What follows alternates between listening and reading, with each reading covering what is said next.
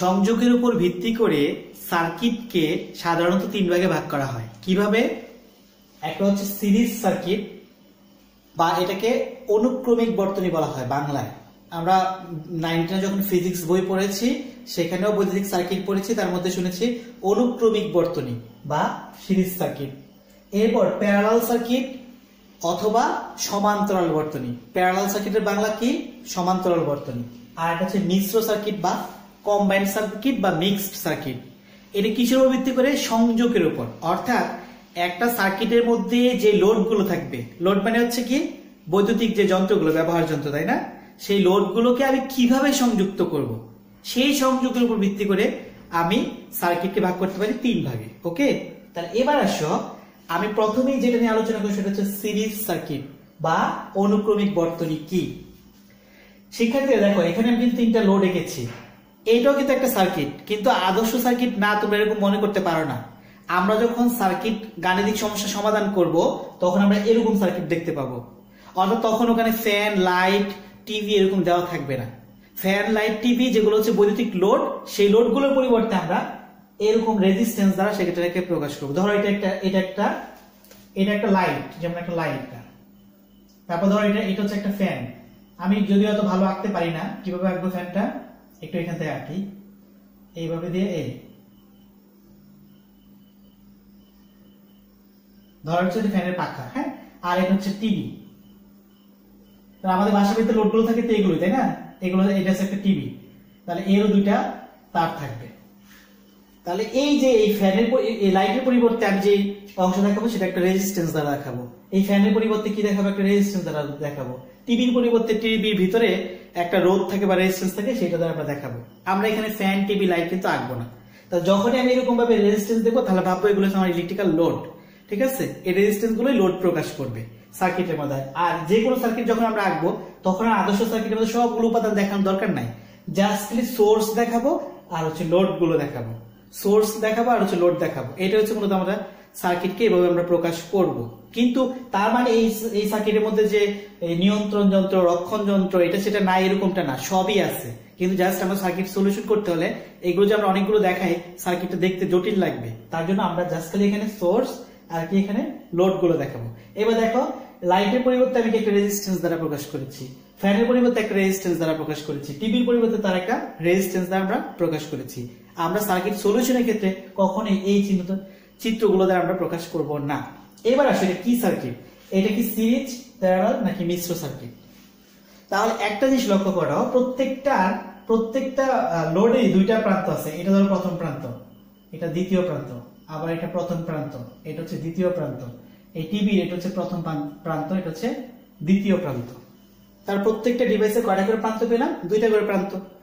এখন ডিভাইসগুলো যদি আমি কীভাবে কানেকশন করে, দেখো এইটার দ্বিতীয় প্রান্তের সাথে ওইটার প্রথম প্রান্ত সংযোগ করেছি। আবার এইটা দ্বিতীয় প্রান্তের সাথে এইটার প্রথম প্রান্ত সংযোগ করেছি। করে এইটাকে সংযুক্ত করলাম এখানে, আর এটাকে সংযুক্ত করলাম কোথায়?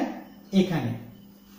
আমি এই যে বললাম যে এই ফ্যানের এই লাইটের পরিবর্তে এই রেজিস্ট্যান্স দিয়েছি, এই টিভির পরিবর্তে এই রেজিস্ট্যান্স দিয়েছি সরি ফ্যানের পরিবর্তে আর টিভির পরিবর্তে এই রেজিস্ট্যান্স দিয়েছি।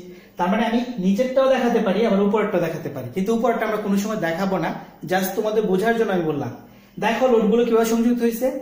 একটা লোডের দ্বিতীয় প্রান্ত, আরেকটা লোডের প্রথম প্রান্তের সাথে। আবার ওই লোডের দ্বিতীয় প্রান্ত, অন্য লোডের প্রথম প্রান্তের সাথে যুক্ত।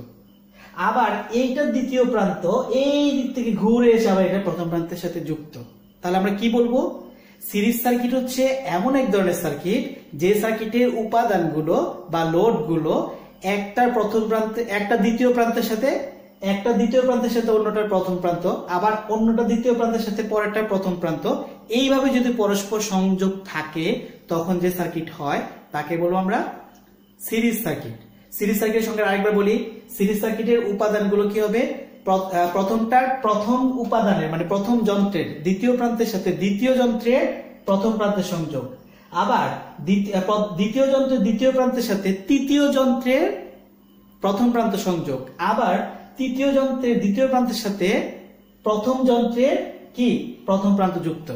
অর্থাৎ হচ্ছে তোমরা যদি মনে করো তোমরা তিন বন্ধু পাশাপাশি দাঁড়ালে, তোমরা পরস্পর পরস্পরের সাথে হাত ধরে দাঁড়ালে। এবার কি ঘটলো? হাত ধরে গোল হয়ে দাঁড়ালে। তাহলে তোমার বাম হাতের সাথে তোমার বন্ধুর কিন্তু ডান হাত সংযুক্ত। আবার তোমার বন্ধুর ডান হাতের সাথে কিন্তু ওই বন্ধুর কিন্তু বাম হাত সংযুক্ত। এইভাবে আবার ওর বাম হাত, ডান হাতের সাথে তোমারও কিন্তু বাম হাত সংযুক্ত। তিনজন যদি পরপর দাঁড়াও, এইভাবে থাকবে। তাহলে এই যে একটা সংযোগ হয়, এই ধরনের সংযোগ হয়, তাকে আমরা বলব সিরিজ সংযোগ। এবার আসো, তাহলে এই এইটা, এটা মানে তো আমি এটাকে বোঝাচ্ছি। এইটা মানে তো আমি এটাকে বোঝাচ্ছি। এটা মানে তো আমি এটাকে বোঝাচ্ছি। তাহলে এটাকে করব হচ্ছে আর ওয়ান এটাকে বলব হচ্ছে আর টু এটা হচ্ছে আর থ্রি এখন আমি এটুকু মুছে ফেলি এইটুকু মুছে ফেলি, দেখো কি হচ্ছে। এখন এইটা হচ্ছে আমার প্রথম প্রান্ত, এটা হচ্ছে দ্বিতীয় প্রান্ত। আবার এই এই লোডের এটা প্রথম প্রান্ত, এটা দ্বিতীয় প্রান্ত। এই লোডের এটা প্রথম প্রান্ত, এটা দ্বিতীয় প্রান্ত। তাহলে এই দ্বিতীয় প্রান্তের সাথে এর প্রথম প্রান্ত, এই দ্বিতীয় প্রান্তের সাথে এর প্রথম প্রান্ত, এই দ্বিতীয় প্রান্তের সাথে আবার ঘুরে এর প্রথম প্রান্ত সংযুক্ত আছে, তাই না? আচ্ছা। আরেকটা জিনিস দেখো এবার তো সংযোগ হলো এইভাবে আরেকটা জিনিস হবে কি, বিদ্যুৎ প্রবাহের জন্য পথ কিন্তু থাকবে একটাই। বিদ্যুৎ প্রবাহের জন্য পথ কয়টা? একটা। কীভাবে এখান থেকে বিদ্যুৎটা বের হবে। এখান থেকে বিদ্যুৎটা বের হবে এভাবে। বের হয়ে প্রত্যেকটা লোডের মধ্য দিয়ে গিয়ে সে আবার কি করবে? সোর্সের মধ্যে কি করবে? ফিরে আসবে, তাই না? তাহলে এইভাবে তো সেই বিদ্যুৎটা প্রবাহিত হচ্ছে। তাহলে সিরিজ সার্কিট হচ্ছে এমন একটা সার্কিট, যে সার্কিটে বিদ্যুৎ প্রবাহের পথ করা থাকবে? একটাই পথ থাকবে। শিক্ষার্থীরা, এখন আমরা জানব প্যারালাল সার্কিট সম্পর্কে। দ্বিতীয়টা ছিল প্যারালাল সার্কিট এটা অলরেডি কমপ্লিট তাই না? এখন আমরা এটা কমপ্লিট করব। প্যারালাল সার্কিট কি? শিক্ষার্থীরা, দেখো, আমি এটাকে, এখানে একটা প্যারালাল সার্কিট এঁকেছি। এইটুকু বোঝার আগে, ওই যে আমাদের তিনটা তিনটা লোড ছিল, আমরা তো জানি যে এই লোড মানেই রেজিস্ট্যান্স দ্বারা বুঝাবো। এই লোডকে এই লোডগুলো আমরা এইভাবে দেখাবো না। জাস্ট আমাদের বোঝার জন্য আমি এগুলো ব্যবহার করছি, কিন্তু আমরা যখন, যত সার্কিট সলভ করব, আমরা এই ধরনের রেজিস্ট্যান্সের সাহায্যে দেখাবো। কখনো এগুলো দেখানো হবে না তখন। জাস্ট এটা আমাদের বোঝানোর জন্য।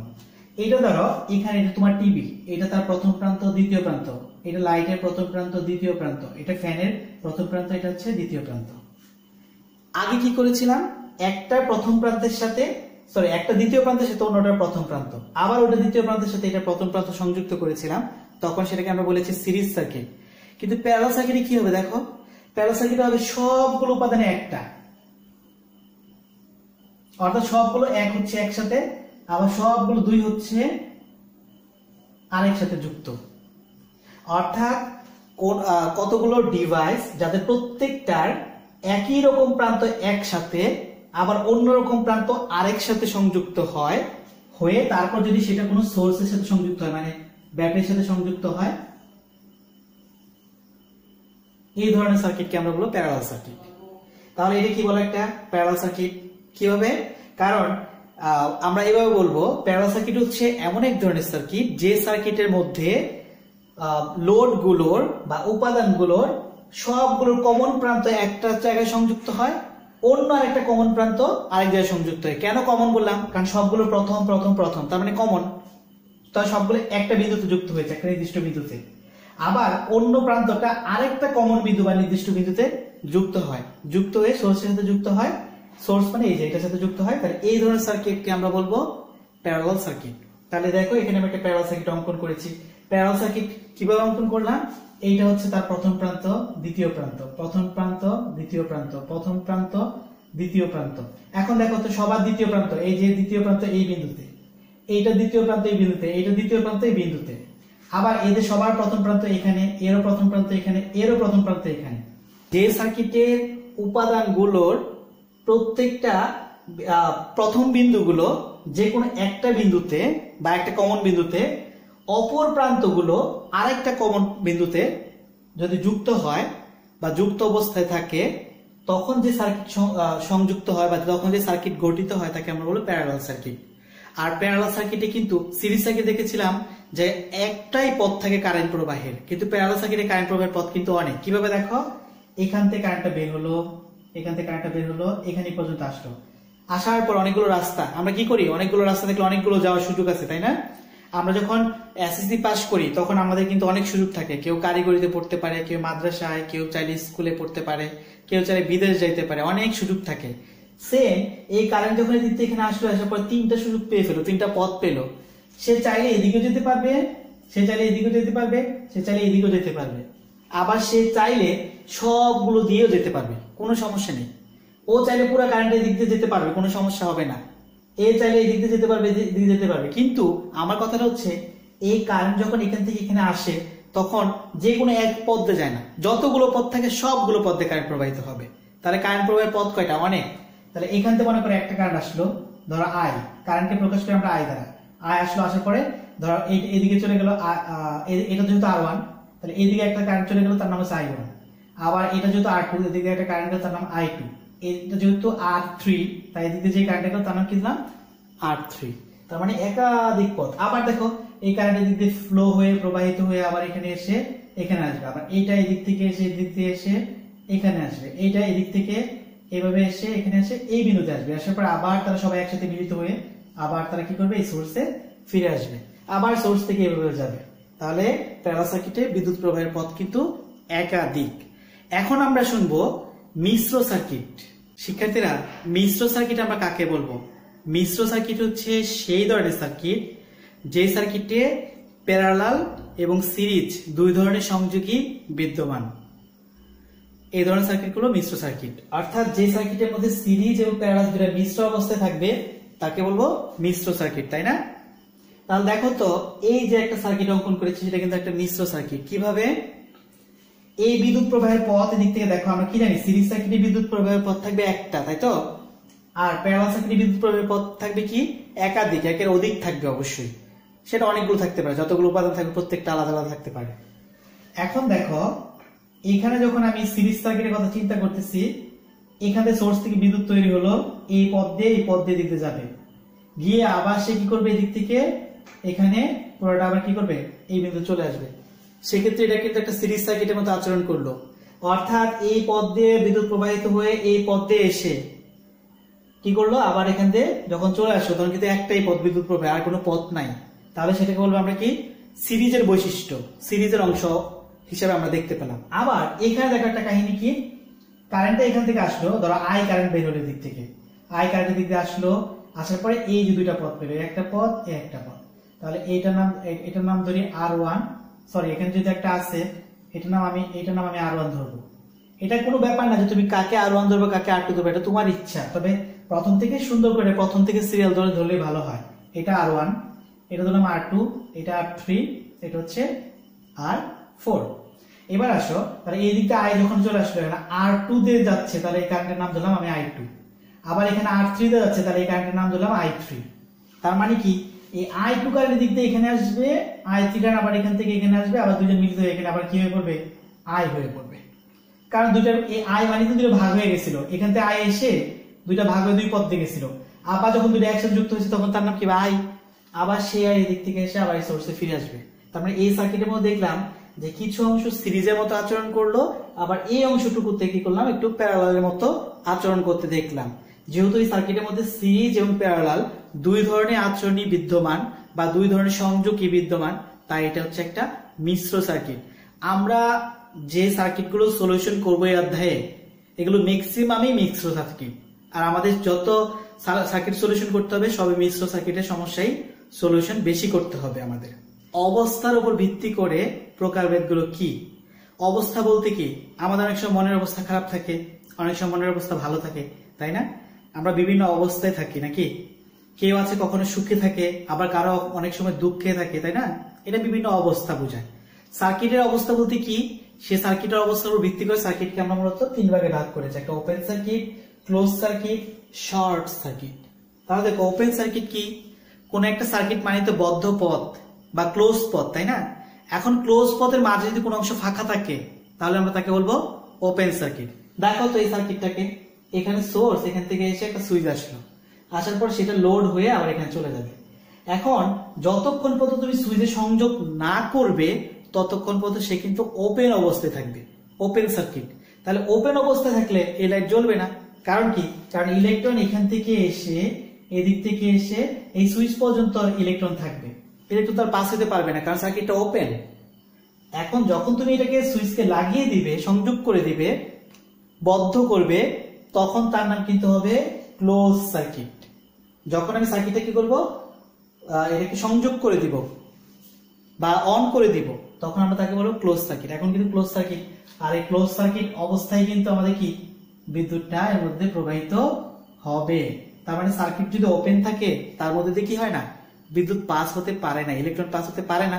যাবে তোমার যন্ত্র কি থাকবে? অফ থাকবে।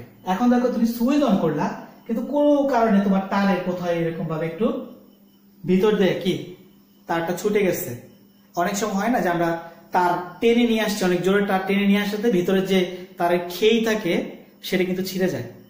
তাহলে কি হবে? এই অংশটা কিন্তু ওপেন তুমি দেখবে যে তার দৃশ্য সব ঠিক আছে, কিন্তু তোমার লাইট জ্বলতেছে না বা ফ্যান জ্বলতেছে না। কারণটা কি? তোমার দেখা গেছে ভিতরের দিক থেকে ওই অংশটা কি হয়েছে গা? ওপেন হয়ে গেছে গা। টান লেগে বা অন্য যে কোনো কারণে হ্যাঁ এই অংশটা কি হয়েছে? ওপেন হয়ে গেছে। তাহলে যতক্ষণ পর্যন্ত তুমি এই ওপেনটাকে ক্লোজ না করে দিবে, ততক্ষণ পর্যন্ত তার মধ্যে ইলেকট্রন প্রবাহিত হবে না। তাহলে এই হচ্ছে ওপেন সার্কিট এবং ক্লোজ সার্কিট আরেকটা শুনব শর্ট সার্কিট এটা কিন্তু আমরা প্রায় শব্দটা শুনি, তাই না? শর্ট সার্কিট হয়েছে এরকম শব্দটা কিন্তু প্রায় আমরা শুনতে পাই। শর্ট সার্কিট মানেটা কি? কোনো একটা লোড ছাড়া যখন, কোনো একটা লোড ছাড়া লোড বলতে কি? আমরা জানি ইলেকট্রিক্যাল লোড মানে কি? টিভি ফ্যান ফ্রিজ এগুলো হচ্ছে লোড এই লোড ছাড়া যদি সরাসরি তুমি সংযোগ দিয়ে দাও, তাহলে যে ঘটনাটা করবে সেটা হচ্ছে শর্ট সার্কিট তাহলে শর্ট সার্কিটের সময় কি হবে? লোড মাঝে থাকে না। যেমন দেখো, এই যে একটা, এটা কি? এটা হচ্ছে লাইট এখন তুমি লাইট কি করলা? এখান থেকে লাইট এটা প্রথম প্রান্ত লাইটের দ্বিতীয় প্রান্ত। এখন তুমি কি করলা? এই দুইটা প্রান্ত এখান থেকে খুলে ভুলবশত কি করছ? এই লোড বাদ দিয়ে তুমি ডাইরেক্ট এখান থেকে এখানে সংযোগ করে দিচ্ছ তাহলে কি হবে বলো? এখান থেকে কারেন্টের দিকে আসবে। এদিক দিয়ে এসে, এদিক দিয়ে এসে এইভাবে পাশে আবার এখানে চলে যাবে, তখন সেটাকে বলো short circuit without any load load ছাড়া যদি কোনো সার্কিটটা সংযোগ করে দাও বা একটা সার্কিট তৈরি করে ফেলো, তাহলে যে যে সংযোগ তৈরি হবে তাকে আমরা বলব ক্লোজ শর্ট সার্কিট আর শর্ট সার্কিটের সময় কিন্তু প্রচুর পরিমাণ কারেন্ট যাবে, কারণ যেহেতু কোনো লোড নাই লোড মানে তো বাধা। মানে লোড মানে কি? মানে বাধা প্রাপ্ত হয় লোডের মধ্য দিয়ে ইলেকট্রনগুলো। কিন্তু যেহেতু লোডের মধ্যে দিয়ে ইলেকট্রন নাই বা লোডের মধ্যে যেতে পারছে না, সরাসরি পথ পেয়ে সহজে সে চলে আসতে পারবে। তাহলে কিন্তু প্রচুর পরিমাণ কারেন্ট প্রবাহিত হবে এবং শর্ট সার্কিট ঘটবে এবং তোমার বাসা বাড়ি কি করবে? লাইন নষ্ট হয়ে পড়বে। অর্থাৎ শর্ট সার্কিটের কারণে লাইন নষ্ট হয়ে গেছে। শর্ট সার্কিট হয়ে থাকলে কিন্তু লাইন নষ্ট হয়ে যায়। এটাকে আরেকটা উদাহরণ দেখায় ধরো এখানে তোমার লাইট ছিল। এখানে আমি লাইট বাদ দিয়ে একটা রেজিস্ট্যান্স দেখাই। এই রেজিস্ট্যান্স লাইট মানে এটা লাইট এরপর দেখো আরেকটা পথ দেখাচ্ছি, এই।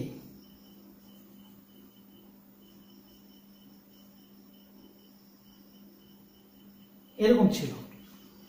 তাহলে এখানে, এখান থেকে কারেন্ট আসলো, এখান থেকে কারেন্ট আসলো, এখানে কারেন্ট আসলো। এখন দেখো ভুলবশত এরকম সংযোগ হয়ে আছে। তখন কি করবে?